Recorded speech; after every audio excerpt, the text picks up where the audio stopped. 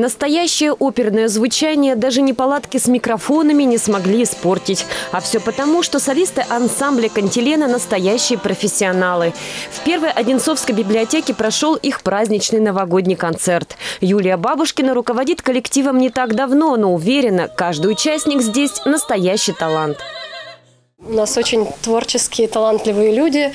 Э, мне, мне нравится, доставляет удовольствие э, большое подбирать им репертуары, заниматься с голосом, э, и они достаточно способные.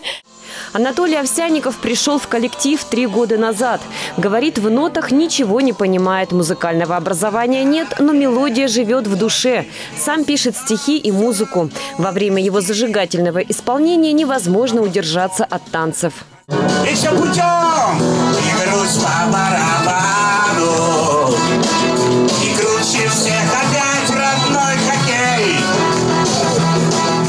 а все потому, что для каждого из участников ансамбль «Кантилена» – это творчество, общение и занятия для души. Вот это сейчас основное в моей жизни, хотя это хобби.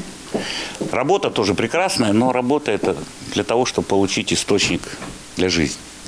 А вот это все, это для души. Здесь нет возрастных ограничений. Участники поют сольно, в дуэтах, трио, ансамблях, исполняют классические и современные произведения, русские и зарубежные романсы, фрагменты оперы и оперет. На новогоднем концерте, когда часы 12 бьют, все смогли насладиться этим вокальным разнообразием.